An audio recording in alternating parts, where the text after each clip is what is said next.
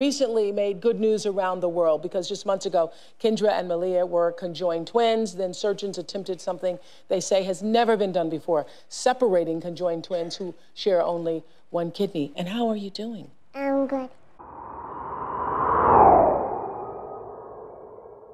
Hi guys, welcome or welcome back to my channel, Tuff Topic. My name is Brittany. I hope everyone is enjoying their weekend. So this will be part four of our fascinating stories and I'm going to be discussing another set of conjoined twins.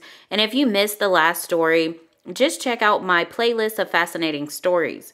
So back in 2007, the Herrin twins, Kendra and Maliyah, were introduced to the world when they appeared on the Oprah show.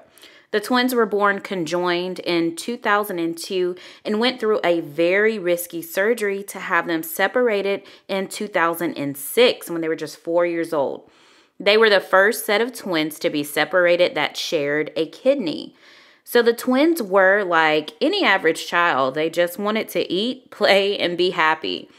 After the separation, they had to go through, of course, weeks of physical therapy and unlike the set of conjoined twins, Brittany and Abby, that I discussed on my previous video, Kendra and Maliyah were only joined at the abdomen and pelvis, but they would each have only one leg when separated.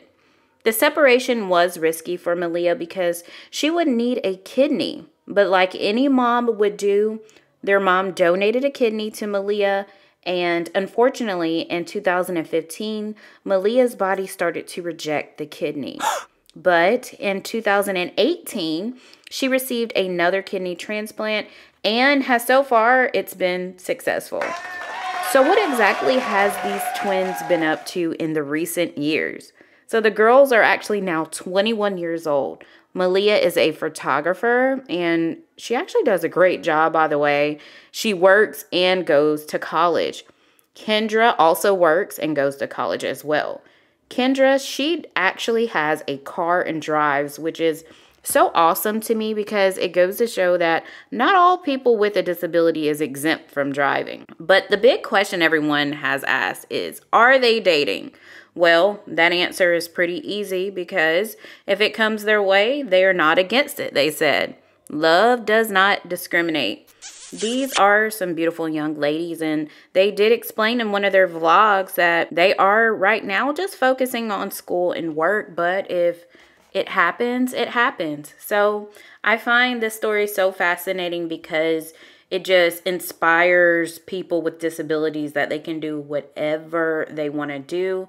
And as you see, they're living life. They, you know, obviously love makeup, clothes. I mean, there's just like any other human being. So let me know how you feel about this story in the comment section below. And do you remember them when they came on the Oprah show or am I just that old? But um, I appreciate you listening and watching and I hope you have a wonderful day. Please like and subscribe. Bye for now.